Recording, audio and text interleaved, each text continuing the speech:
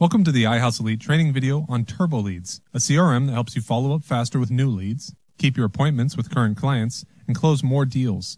Let's get started by looking at the main home screen in Turbo Leads. This is a dashboard where you can see any new leads and upcoming tasks for the day. Overdue tasks and unqualified leads are also going to appear here. Now let's look at a new lead.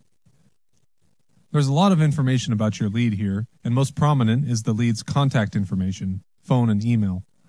Next to the email address, you may see some small blue badges. If the lead is registered on your iHouse Elite website, you'll see an R badge. If they're subscribed to your marketing emails, you'll see an S badge. And if they're currently receiving HouseTrack email reports for a saved search, you'll see an H badge. Next to the contact info, you'll notice some icons for phone, email, and SMS. You know this as text messaging. These are functional contact buttons that you can click on to place a call, send an email, or send an SMS directly from the CRM interface. These buttons only work after you've verified your phone and email. If you still have not verified your phone or email, some of these icons may be gray and non-functional.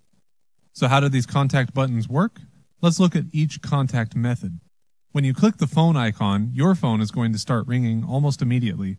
The number you see on your caller ID is your assigned TurboLeads number, also referred to as your Twilio number since that's the service we use for phone call routing.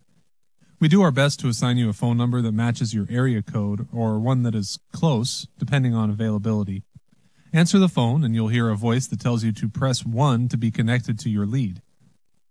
After pressing 1, you'll hear the phone start ringing through to your contact, and the rest of the call is going to proceed like any other phone call would. That very same phone number will route calls to your phone when dialed. So if your contacts end up saving the Turbo Leads phone number or they return a missed call from that number, those calls will always pass through to your phone. Now, we know some agents don't like the idea of a new phone number, so you certainly don't have to use our phone call features if you don't want to, but there are some significant incentives to use the Turbo Leads phone number. For starters, Every call that gets routed through the TurboLeads number gets tracked in the TurboLeads interface. That means every call shows up on your contact's timeline, and incoming calls from unknown callers automatically generate new lead records in your TurboLeads CRM. And if you want to send text messages through this TurboLeads interface without ever touching your phone, you do need to embrace this TurboLeads phone number. Just think of this TurboLeads phone number as a business line for your real estate leads a line that's completely integrated with your CRM. For email, we offer more flexibility. By default, we'll simply route your email messages through a TurboLeads email address, very similar to the way we handle phone call routing. But if you want the benefit of email tracking without using a separate TurboLeads email address to route your email messages, just let TurboLeads connect directly to your email provider via IMAP settings. Then you can send and receive emails the same way you always have, while still allowing TurboLeads to track email conversations with your leads. I'll show you where to find your IMAP settings and lead capture email address later in this video. Your communications will even be used to automatically update client statuses. For instance, a client status will change from new to attempted if you send them an email. And if that same client replies to your email, their status will change to contacted. You'll find your client's status here in the About card, along with the lead source and any tags associated with the lead. Of course, you can change the status from here, and you can add or remove tags from here as well. It's important to keep your client statuses up to date so that your pipeline is accurate. Otherwise, you might end up getting overdue notifications about leads you have already contacted and qualified. Now let's look at task scheduling. This is pretty straightforward. Click the three dots to schedule a new task, add a short description, specify the type of task, choose a day and time, and save.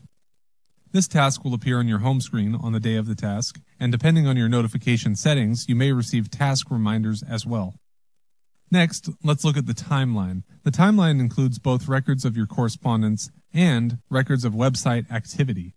So if your lead logs into your website, searches for homes in a certain area or price range, you're going to see all of that info here. You can add your own notes to this timeline as well. If your client saves a search or a listing, that will be in the timeline too, but it will also appear above in the saved search and saved listing cards. Here in the Save Search card, you can save a search on behalf of your client and enable HouseTrack email reports to send email updates to your client when new homes are listed that meet the search criteria. The last card to talk about on the contact details screen is campaigns.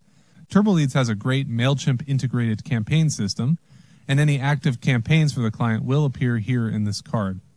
We do have a separate video that covers TurboLeads campaigns in depth, so I'll be omitting that topic from this video so we can keep this as short as possible. A link to the TurboLeads campaigns video is below in the video description.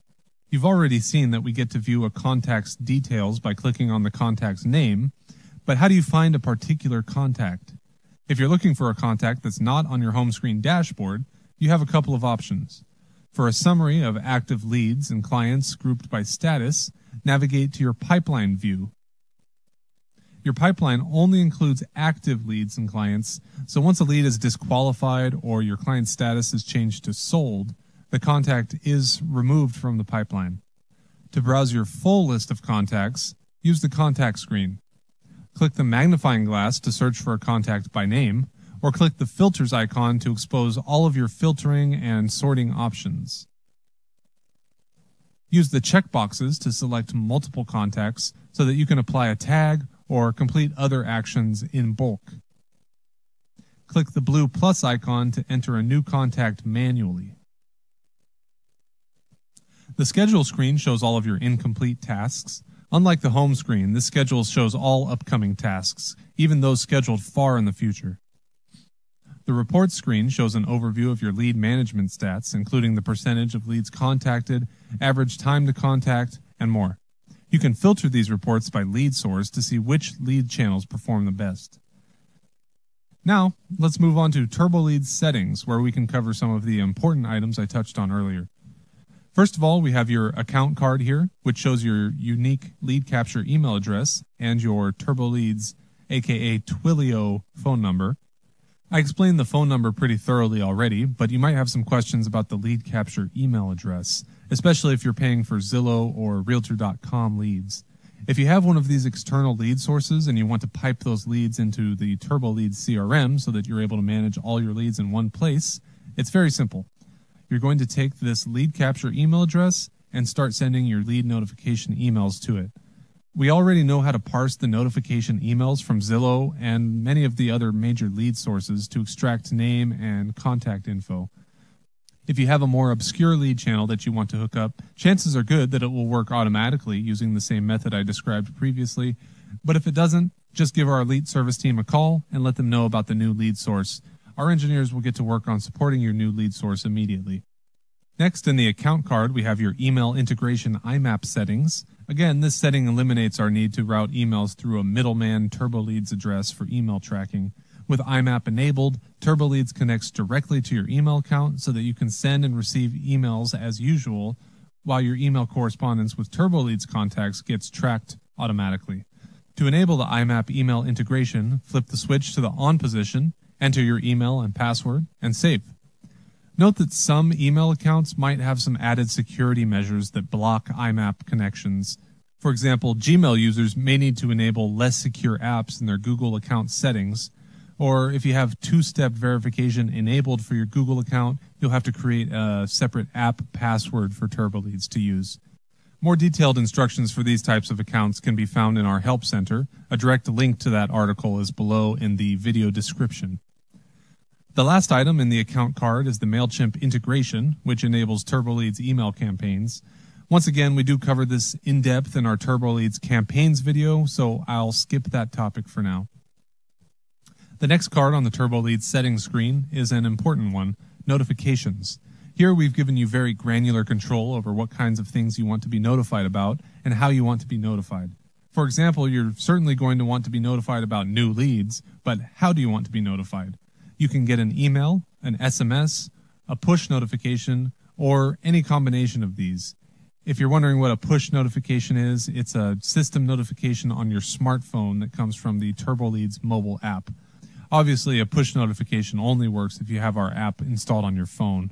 I'll talk more about our mobile app at the end of the video. The last item in the notifications card is additional notification email address. If you need to send lead notification emails to an external CRM or to your assistant or anywhere else, you can set that up here. The email reports card needs no explanation. Enable these to receive various daily reports. Now let's look at the Manage Defaults card.